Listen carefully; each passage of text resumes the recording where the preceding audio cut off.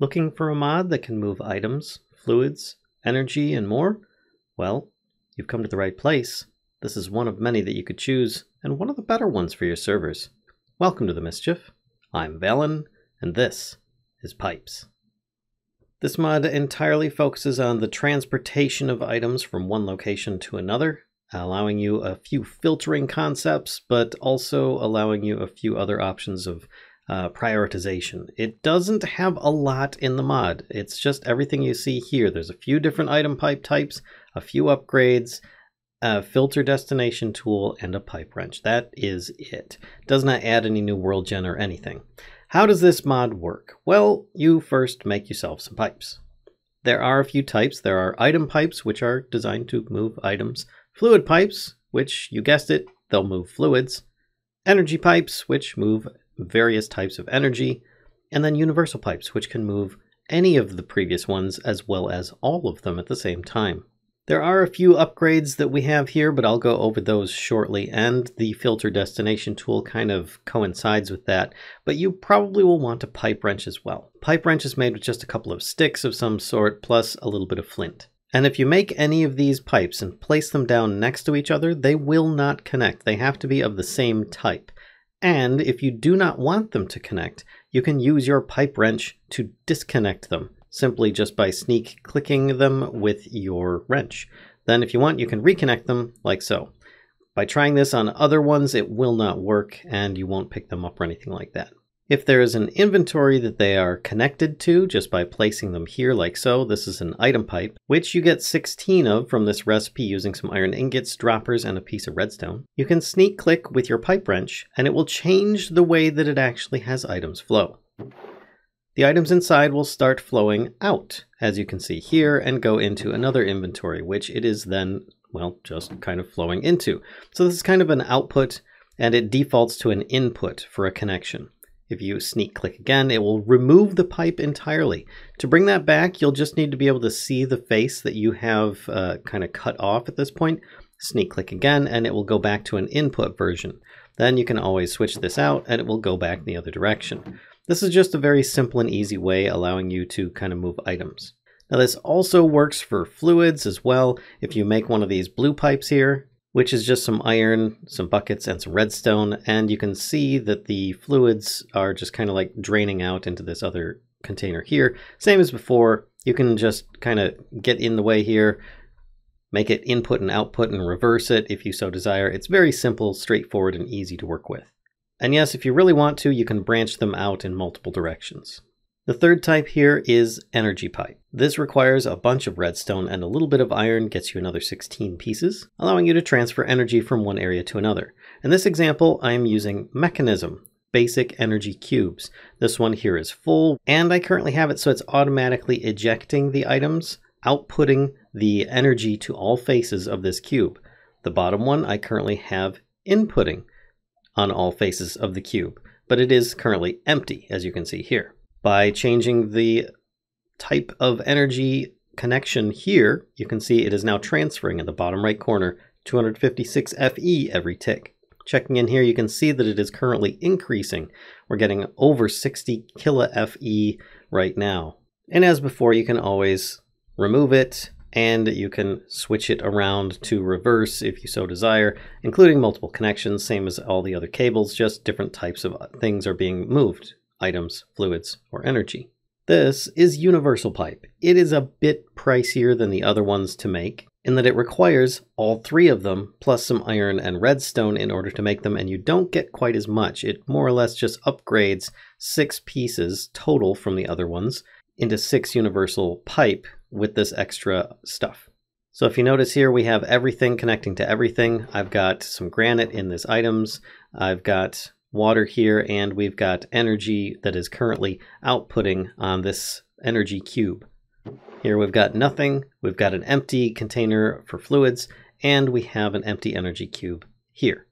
Of a quick note, I do recommend Fluid Tank also is a very good item and fluid transport mod if you want something even simpler than this one, but it doesn't quite have as much in the way of customization. Moving on from that though, let's actually take this and sneak, click, click, click everything is changing all at once. Just by going here, you can see the granite is dropping, you can see the water is dropping, and here the energy is dropping. All three of these are automatically figuring out the destinations they need to go to, and there you have it. Now with the basics aside, let's cover a little bit on how you can modify these, filter them, and kind of have things sorting in a way that you want. Now I currently have a simple setup of just some item pipes coming from this barrel going into these barrels here. Just for uh, simplicity, this is going to be the input chest. This is going to be the output. Now nothing is set to currently move. If I do use this, I can sneak click and that can it'll start automatically placing things into different locations. But if you change this to an output, you then automatically get access to filtering options, or at least it looks like it. Without any kind of uh, upgrades in your uh, unit here, you don't have anything that you can do. You just get to look at it and go, "Oh, I should be able to do something with this. Well, it's got a little picture here for the upgrade. You can only have one type of upgrade in there at a time. And if we put the basic one, it allows us redstone mode, which means that we can have it off, on, always off, or ignored which more or less, if you want to have this so that you turn on a filter after you have a bunch of things go into this uh, barrel, you could do so just by having a lever next to it or something of that fashion. Your basic pipe upgrade is just a bunch of iron and redstone dust. It's not too expensive and it should do quite well for uh, exporting your items into chests or other storage options. Switching this out, we'll go with the improved pipe upgrade. This made with a bit of gold and redstone around a basic pipe upgrade, will allow you several distribution options. One is to have it go to the nearest inventory, the furthest inventory, the round robin, or randomly. Choosing this, of course, with the nearest one here, that would be this barrel here, I put something in, it instantly goes into the closest one. Again, switching it to furthest, it'll go to the farthest barrel. Round robin means that it will put an item in each barrel in sequence, starting with the closest one. So let me put in this here and this, and we've got three items. It dropped one in the first one, one in the second one, and then one in the third one. And of course, random just randomly drops items uh, hither and thither in any number of storages that are connected to the network. Now if we switch this out and we put in an advanced pipe upgrade, which is diamonds and redstone blocks around an improved pipe upgrade, we then get the option to filter things with a, a whitelist or a blacklist option. And the add button has been highlighted. You can click on here and you can actually add in specific items like dirt, cobblestone, whatever you like. You can just add in multiples of these you can change the NBT data. You can even use the filter destination tool to set a destination. There's also the regular or inverted options down here, and you can match only provided tags if desired. In this case, I've chosen cobblestone, so we're going to submit this. We now have a whitelist allowing cobblestone to the nearest barrel only. So if we do round robin, this will allow several items to go in. So let's put this in here. We'll put in dirt. First barrel got nothing. Second barrel, nothing. Third barrel, nothing. Why? Because the whitelist is allowing cobblestone to go through. I put that in there. It will then put the cobblestone in the nearest chest. I can change this to round robin and take out the cobblestone, put that in here, and it should go to the next chest. As you can see here, we're on the middle one now. But yet that dirt is still sitting here because we have a whitelist only allowing cobblestone through. Now, if you want to modify this a bit further, you're probably going to want the filter destination tool. If you remember on here, there's a little slot for it where it discusses you can insert this here. And it is made with a glass pane, a button of some sort, some iron, and some redstone. Then you just click on a block location. In this case, I'm going to choose the middle chest. Destination is set. Going back in here, we can click on this one and we can edit it. We also can remove it if we desire, but in this case, I'm using this for the example we can say, all right, let's set a destination. Click here and it puts the destination in place, saying specifically the south side, which is this facing. So be careful, you're not just clicking on the block in a general space, like this side of the block if you wanted this one. You want the side that is connected to the pipe. Also be sure to click submit or else it will not save your results.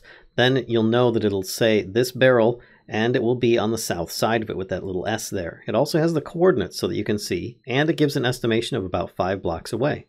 So by adding in some more filters in here, I currently have cobblestone. So to give you an example of how you can better filter things through with just this one pipe at one end, I currently have it distributing to the nearest first. The cobblestone is going five blocks away, which is the middle barrel here. The others, granite, stone, dirt, diorite, they're all going four blocks away, which is actually the closest barrel. I have nothing going on with the farthest away barrel, but I also have diamonds, which isn't even on the filter setup. So let's put all these things in here. And you'll see that the dirt, diorite, stone, and granite go into the closest barrel. The next one here, we've got cobblestone going into the middle barrel.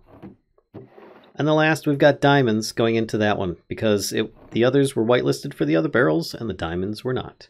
And that's just with an advanced pipe upgrade. There's also ultimate pipe upgrades, which are incredibly expensive at 4 netherite ingots each, plus 4 more blocks of redstone on top of an advanced pipe upgrade. By switching this out, you'll notice, hey, where'd all my filters go? Well, they're all on your advanced pipe upgrade still. If you switch them back in, they'll be there still. But if you trade it out, the upgrades don't remember. Before I cover the final ultimate pipe upgrade, I feel that there is something that I have overlooked and should explain a little bit further, and that is that the different upgrades do a little bit more than just the extra options that you may see in each one. For example, let me uh, look into this barrel here. You see there's nothing there, and there's a barrel full of stone. So if I sneak click, this will start slowly going into the neighboring barrel. By upgrading this to, let's go with an advanced one, it starts to pick up speed. If I put something more along the lines of an ultimate in there, it's almost instant that it transfers everything in place. So as you go up in level with these different pipe upgrades, it will also speed the uh, the transfer of any kind of items, fluids, or other energy. That being said, anything that is used for the universal pipe might be a little bit different in how it looks. For example, if I look at this, I now have three tabs, items, fluids, and energy. Whereas before, if I'm only moving one item, it's going to just be one of those instead of all three. But as this is universal and can transfer any of these, albeit slowly because I have not upgraded it, you can choose each individual one separately. And as before, by putting the ultimate pipe upgrade in here, it almost instantly will transfer over all of the contents of this other barrel, and you get all of the different options that you otherwise would from an advanced pipe upgrade. Just a bit faster. Okay, like a lot faster. And that about does it for this bit by bit on Pipez. If you enjoyed this video, please be sure to give a like, comment, subscribe, and as always, don't be afraid to stop by on Twitch, click that notification bell on either platform, and until next time, folks, I'll see ya.